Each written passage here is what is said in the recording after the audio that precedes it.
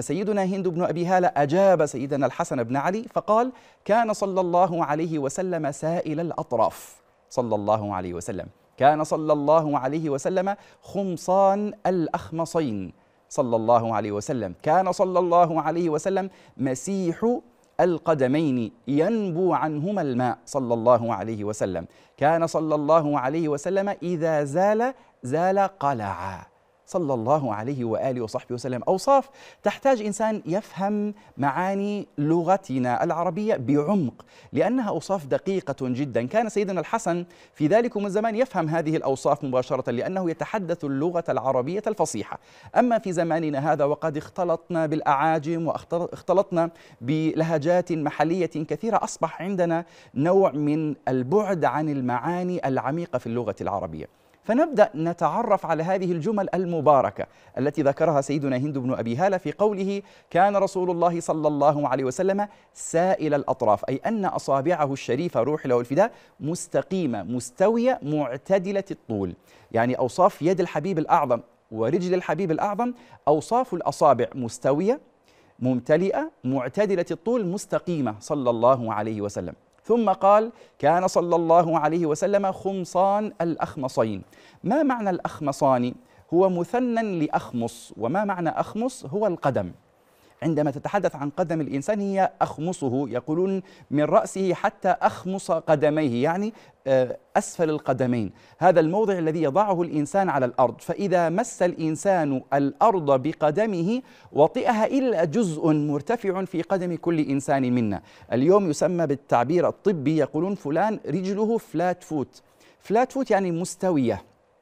لكن الذي به تقوس وارتفاع في وسط القدم هذا الوصف كان في قدم رسول الله كان فيه ارتفاع صلى الله عليه وسلم في وسط قدمه الشريف عن الأرض عند وطئها عندما يطأ الأرض لا تجد أن النبي صلى الله عليه وسلم يؤثر في الرمل بل يؤثر في الصخر صلى الله عليه وسلم وهذه من علامات ودلالات كمال خلقه الشريف صلى الله عليه وسلم خلقه الله عز وجل في أجمل وفي أبهى صورة. ثم قال في الثالثة وهو يترجم هذا المعنى لسيدنا الحسن بن علي قال كان رسول الله صلى الله عليه وسلم مسيح القدمين ينبو عنهما الماء.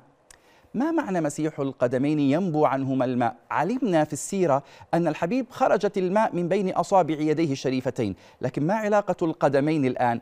هو يتحدث يقول أن قدم وكعب الحبيب الأعظم أملس ناعم. إذا سكبت من عليه الماء انسال الماء مباشرة أي لا يوجد تشقق ولا تكسير في قدمه الشريف صلى الله عليه وسلم بل قدماه الشريفتان روح له الفداء ملساوتان. عجيب هذا الوصف الدقيق لقدم الحبيب المصطفى. فإذا نزل عليهم الماء أو صب عليهما الماء مر مرورا سريعا لما؟ لشدة اللين الذي في هذا القدم الشريف. صلى الله عليه وآله وصحبه وسلم.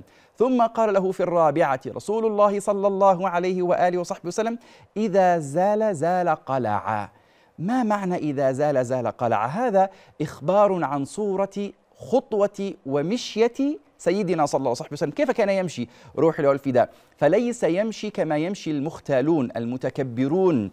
الذين يرون أنهم أفضل من الناس بل كان يمشي صلى الله عليه وسلم مشية أولي العزم من الرسل أصحاب الهمة أصحاب النشاط أصحاب الشجاعة. إذا تحرك روح الفداء كانت خطواته ثابتة خطواته سريعة يتمايل بجسده الشريف صلى الله عليه وآله وصحبه وسلم كأنما ينحط من صبب ارتقاه يعني وكأنه ينزل من مكان مرتفع صلى الله عليه وآله وصحبه وسلم. هذا وصف أصابع الحبيب الأعظم وقدم الحبيب الأعظم وباطن قدم الحبيب الأعظم ومشية الحبيب الأعظم صلى الله عليه وآله وصحبه وسلم. يا أيها المشتاقون لنور جماله صلوا عليه وسلموا تسليما.